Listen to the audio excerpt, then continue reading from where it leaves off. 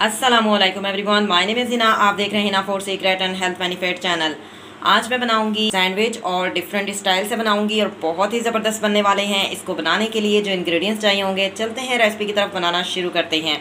I am going to make let's begin बिसमीम आज मैं बनाऊँगी सैंडविच और आज मैं आलू के सैंडविच बना रही हूँ और थोड़े डिफरेंट इसमें इंग्रेडिएंट्स डाल रही हूँ। तो सबसे पहले इन्ग्रीडियंट्स देख लेते हैं कि मैं इसमें क्या क्या डाल के बनाने वाली हूँ। एक मैंने प्याज कटिंग कर लिया है और पुदीना थोड़ा सा लिया है, हरा धनिया थोड़ा सा लिया है और दो मैंने आलू बॉयल कर लिए जिसको मैंने मैश कर लिया है। और इसके अलावा टमाटो केचप जो कि हम स्लाइस पे लगाएँगे, इसके अलावा मैंने एक और चटनी अलग से बनाई है, इसका अपना एक टेस्ट होता है।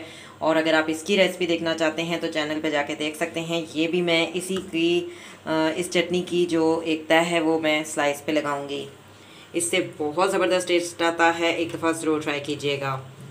और इसके अलावा हम इसमें जो मसाला जात डालेंगे, वो मैं आपको बताती हूँ। लाल कुरी मिर्च है, चुटकी और चुटकी भर हमने ली है रेड चिली, चुटकी भर ब्लैक पेपर, चुटकी भर साल चुटकी भर चाट मसाला।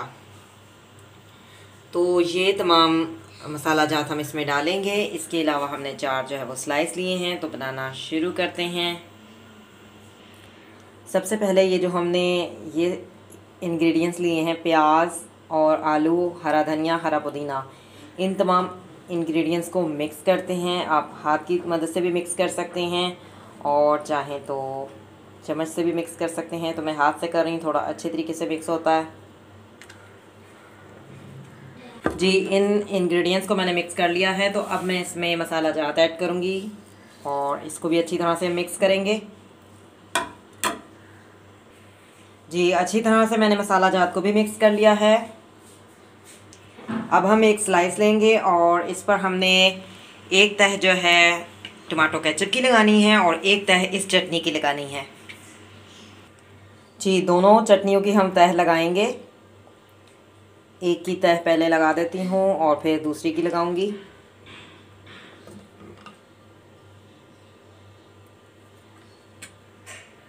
जी, एक चटनी की मैंने तह लगा दी और अब दूसरी चटनी की तह लगाऊँगी।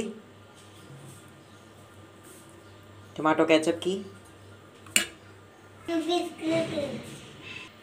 जी, एक तह मैंने जो है वो टमाटो केचप की लगा दी है और अब मैं इसमें डालूँगी मसाला। जो हमने अमेज़ा बनाया है और इसको हम फोल्ड कर देंगे।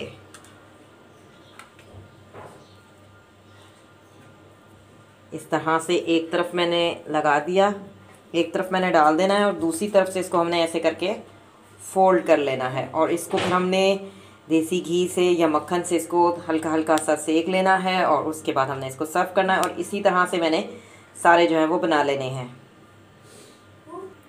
जी, सारे मैंने इसी तरह से बना लिए हैं और सबको मैंने जो है वो देसी घी से सेक लेना है। जी, मैंने एक पैन लिया है, इसमें हल्का सा मैंने ऑयल लगाया हुआ है, ज़्यादा नहीं लगाना और इसमें हम इसको हल्का हल्का सा सबको फ्राई कर लेंगे, हल्का हल्का सा सेक लेंगे दोनों तरफ़ से। और इसी तरह से हमने जो है वो सारे सेक लेने हैं।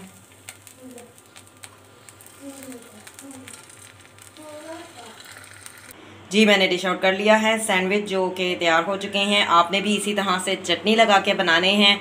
और अगर आप चटनी की रेसिपी देखना चाहते हैं तो चैनल पे जाके देख सकते हैं। अलॉट ऑफ़ चटनी की रेसिपीज़ मैंने बनाई हुई हैं और वो बहुत ही ज़बरदस्त टेस्टी होती हैं। तो आपने भी इसी तरह से जो है वो इसको लगा कर और टमाटो केचप की एक लेयर देनी है और एक चटनी की लेयर देनी है और उसके बाद आपने ये सैंडविच बनाने हैं। बहुत मज़े के बनते हैं और उसके बाद आपने इसको गरम गरम सेक लेना है। देसी घी के साथ या फिर मक्खन के साथ।